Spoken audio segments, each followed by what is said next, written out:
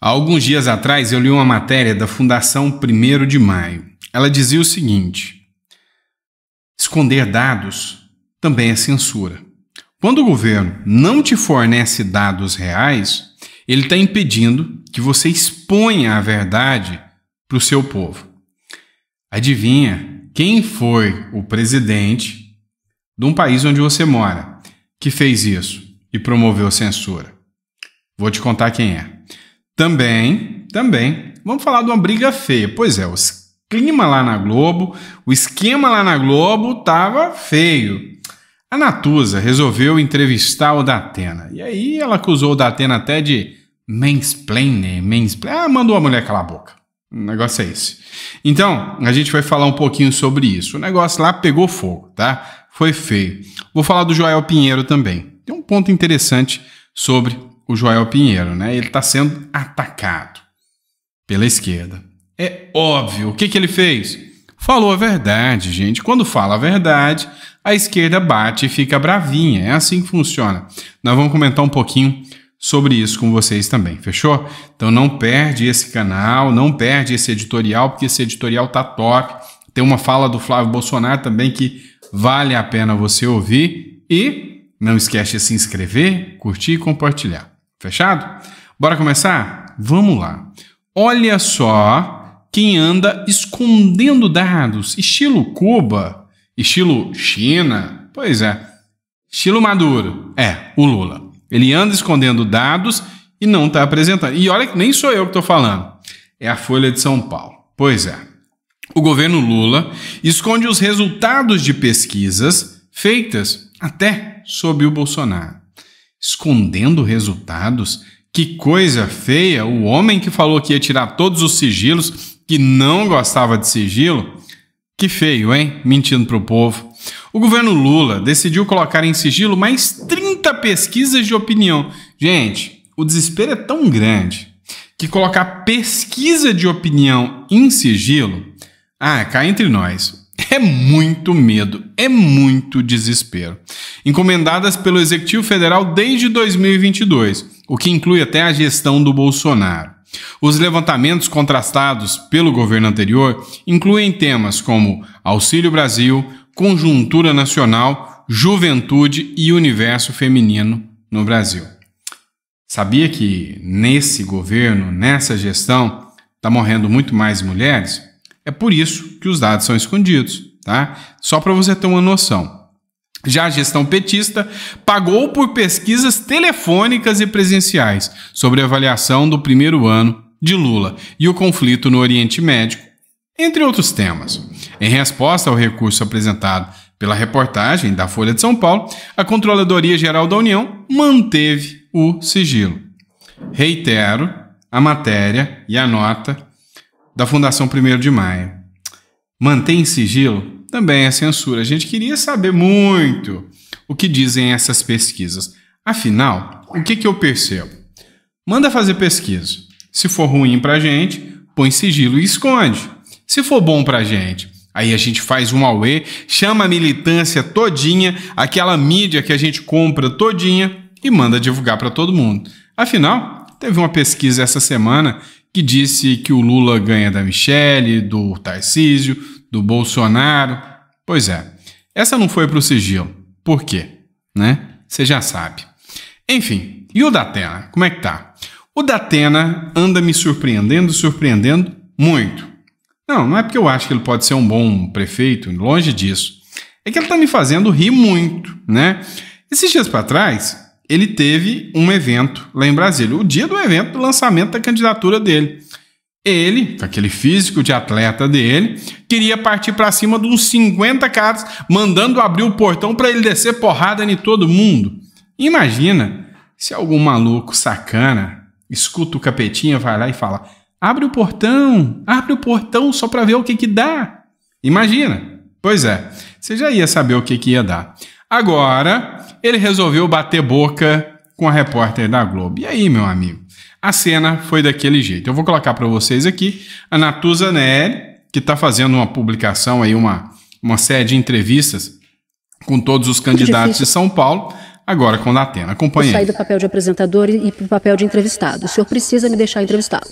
Eu preciso, eu preciso conseguir fazer Olha, as perguntas. Só um minutinho, o senhor me deixa terminar. Só, só com um detalhe, eu também me... preciso ter o direito de responder. Claro, mas o senhor Você me disse de... que eu teria uma hora para responder. Mas o senhor precisa ouvir as minhas perguntas. O senhor começa a falar eu ouvi todas e respondi todas. Seis minutos de uma pergunta só, candidato. Eu não creio que os eleitores Mas de São Paulo... Mas um assunto como a Cracolândia não pode englobar mais candidato, do que seis minutos. Candidato, o senhor já ouviu falar de uma expressão? De uma o senhor já ouviu falar de uma você expressão? Não pode, você não pode candidato, resolver. Natuza, eu não quero te contradizer. Mas você não, não pode falar pode de problemas complexos em segundos. Candidato, não é esse o ponto. O okay. ponto é que o senhor já ouviu, ouviu falar numa expressão chamada interrupting? Nossa, essa aí, essa aí é dizer assim, olha, eu sou de esquerda, eu falo todes, tá? Me interrupted é quando uma mulher vai falar e o cara fala quer falar mais que ela, tá? Tem expressão para quando isso acontece, quando o cara quer falar e a mulher não deixa de falar? Porque, cara, todo homem que é casado sabe muito bem o que, que é a mulher interrupting, né? Você começa a falar, só falta a mulher virar para você, ó, cala a boca! E a gente, como não é bobo nem nada, cala a boca. Então, assim, sabe, tudo vira discurso para essa galera da esquerda. Mas continua. É quando o homem não deixa a mulher falar. Eu não imagino que Me seja. Desculpe, não é esse o meu objetivo. É, então o senhor vai ter Com toda a liberdade. entrevistador, independente de gênero, a minha ação Mais sempre uma vez o senhor essa. não deixa eu falar. Agora, é, não, só, eu não, só quero porque eu... você fez uma comparação absolutamente indevida. Eu não, respeito candidato. as mulheres e tenho muito estou... respeito pelas mulheres. Eu não estou Agora, dizendo... eu estou falando com uma entrevistadora independente de gênero. Se você fosse homem, eu teria respondido da mesma forma. Você me faz uma pergunta candidato, complexa vamos pra, vamos e quer pergunta. que eu responda rapidamente. Não, é impossível candidato, isso. Eu quero só que o senhor ouça as minhas perguntas. Eu só ouvi isso. e respondi. Então vamos para a próxima. Que é muito difícil. E aí, qual tá pior? Pergunta rápida. O nível do jornalismo ou o nível dos candidatos? Qual dos dois tá mais assustador lá, né? sobre o caso de São Paulo. E aí aconteceu uma coisa, né? Um dia para o Bruno Zambelli, um dia fenomenal, né? Para mim não foi tanto assim não. O que, que aconteceu? O Sakamoto, para mim, o jornalista mais de esquerda do Brasil, né? Ele falou que o Bolsonaro tá certo. E ele teve que concordar com o Bolsonaro. E ele não gostou muito dessa situação. Escuta só o que ele falou. Ô, Fabiola, o ministro do hipismo né, é, deletou a Rebeca, é isso mesmo, ministro do hipismo. O Juscelino Filho é uma pessoa que entende muito mais de cavalos, como a gente vai comentar, do que qualquer outra coisa, e está no Ministério das Comunicações apenas em nome da governabilidade para ajudar o governo Lula, né. É, o que me deixa mais irritado com essa postagem é que o Minicom, Ministério das Comunicações, com essa barberagem absurda, me fez concordar totalmente com a postagem de Jair Bolsonaro, né, e por isso nunca vou perdoar o Ministério. O, o, ex-presidente está errado? Não está. Ele simplesmente falou: olha, o governo Lula, o Ministério das Comunicações do governo Lula, apagou a Rebeca, nossa principal medalhista olímpica, e colocou no lugar uma propaganda, né? É, e que é, é um absurdo, né? Fab... Sabe de uma coisa? Tô chateado com o Bolsonaro.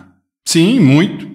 Bolsonaro me fez concordar com o Sakamoto, que concordou com ele. Vou perdoar o Bolsonaro por essa não, porque me fazer concordar com o Sakamoto, de entender que o Bolsonaro estava certo e os ministros do Lula estavam errados, pois é, foi sacanagem do Bolsonaro. Concorda ou não concorda? Porque fazer a gente concordar com o Sakamoto é pesado. É o cúmulo do da sacanagem.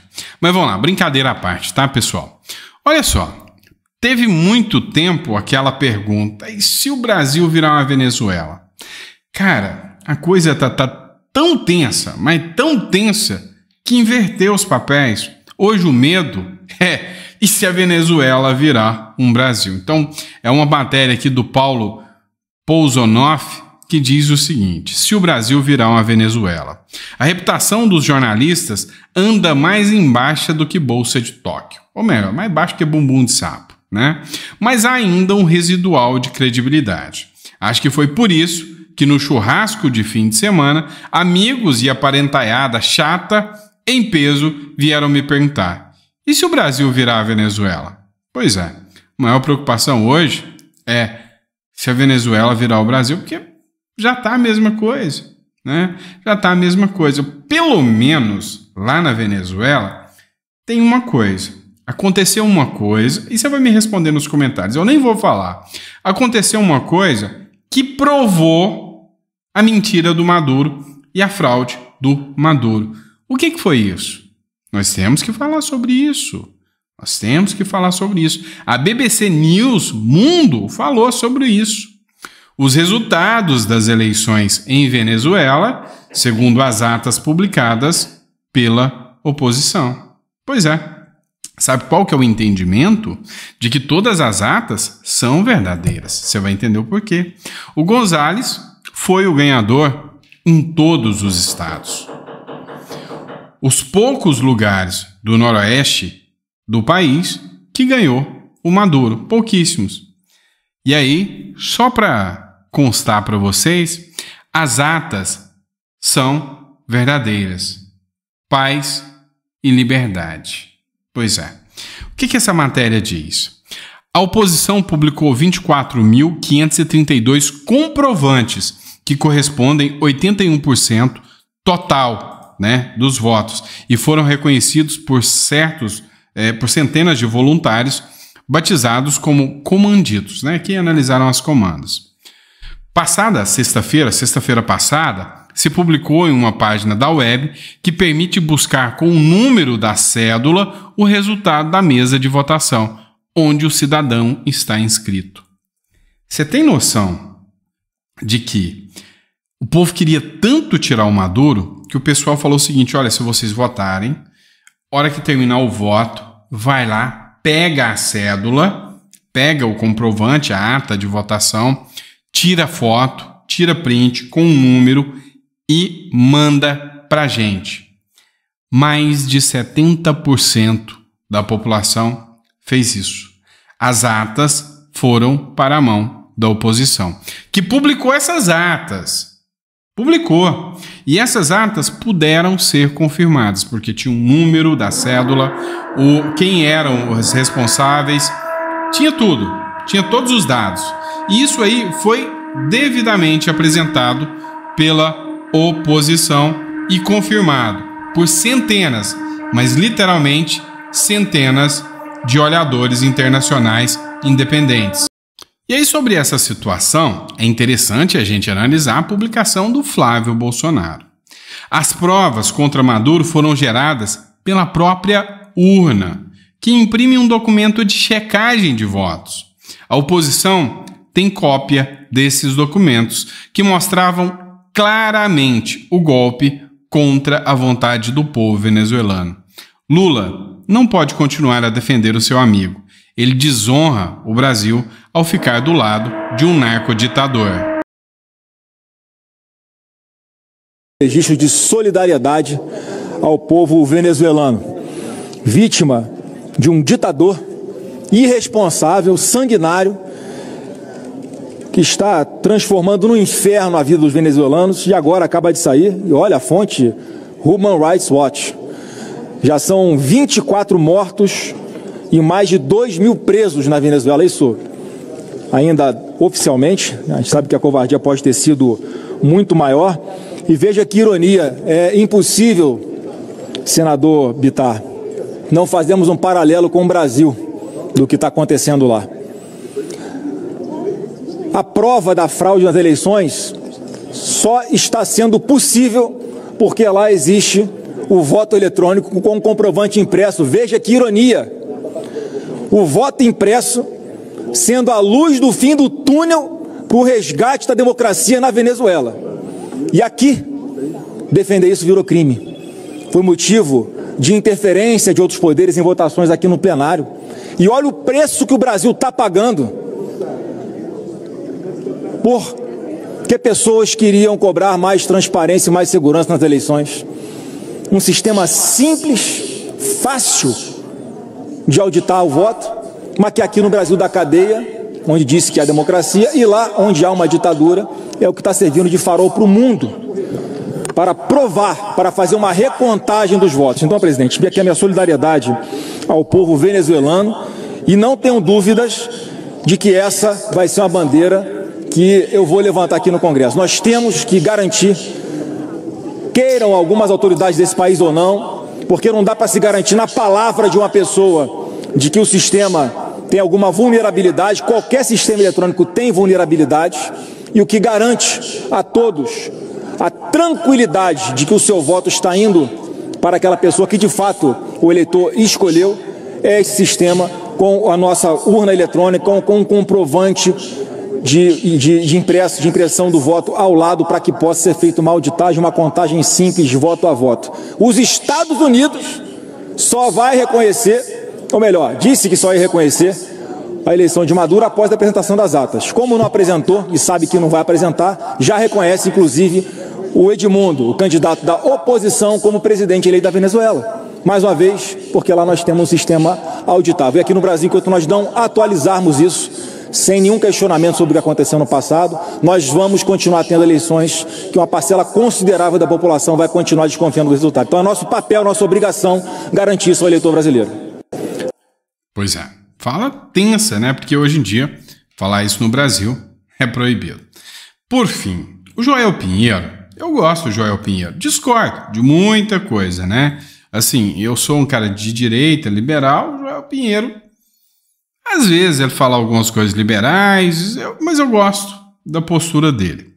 Ele fez, ele cometeu um crime, um crime pesado no Brasil. Disse a verdade. Contra a esquerda, né? Falar mal do Lula e da esquerda é pedir para arrumar briga. Pois é, e aí, não sem motivo, a esquerda partiu para cima do Joel. O feio foi que ele pediu desculpa para a esquerda. Aí não. Ele não falou nada de errado. O que ele tinha falado estava certíssimo. Teve que cometer um erro para agradar a esquerda. O erro dele foi pedir desculpa. Acompanhe aí. E o pior dessa história desse hate que uma esquerda mais militante nas redes tem feito sobre mim desde ontem, inclusive aí jornalistas do Brasil 247 e outros, é que eu naquele vídeo, se vocês forem ver, eu nem digo que o PT e que o Lula gostaria de tentar fazer algo aqui como existe na Venezuela. Pelo contrário, eu, sou, eu digo exatamente o contrário disso quando falo sobre o assunto. O PT teve chances no governo de tentar mudar essas coisas, de tentar interferir nas eleições ou nos processos, e não tentou. Ele é culpado sim de corrupção, que é uma prática antidemocrática, mas assim como todos os outros partidos estavam envolvidos juntos também. Tá? Então o Lula não tentou ser um Maduro ou um Chaves aqui no Brasil. Né? Isso é fato. O que eu digo é, essas falas do Lula e esses posts do PT, eles alimentam milhões de brasileiros essa suspeita, até essa acusação. Isso é um fato. Basta conversar com as pessoas, vocês vão ver. As pessoas dizem isso, alimentados pela. E o pior. Alimentados pela verdade, né? Que o Lula passa pano pro Maduro. E isso é inquestionável. Né? Isso é fato. Tá bom? Obrigado, pessoal. Ó, amanhã, se Papai do Céu permitir, estamos de volta. Então, obrigado por tudo. Tinha muito conteúdo para trazer para vocês ainda, mas vamos deixar para amanhã. Cansaço bateu hoje, tá bom? Abraço e até o próximo editorial.